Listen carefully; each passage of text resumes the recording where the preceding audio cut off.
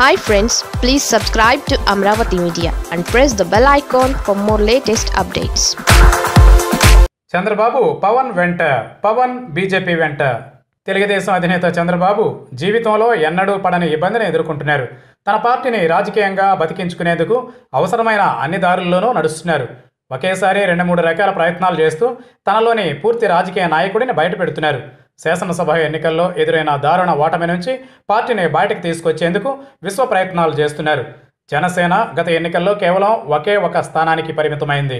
అలాంటి పార్టీ వెంట చంద్రబాబు పడుతున్న తీరు చూసి తెలుగు తమ్ముళ్ళే ఆశ్చర్యపోతున్నారు. ఏ సభ ఏర్పాటు చేసినా ఏ సమావేశం ఏర్పాటు చేసినా పవన్ కళ్యాణ్ను అలా అన్నారు.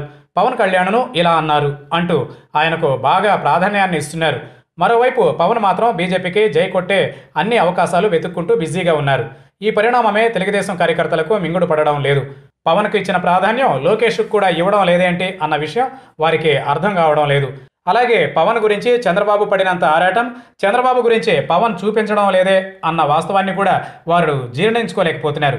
ఇక్కడే కొత్త కొత్త అనుమానాలు పుట్టుకొస్తున్నాయి.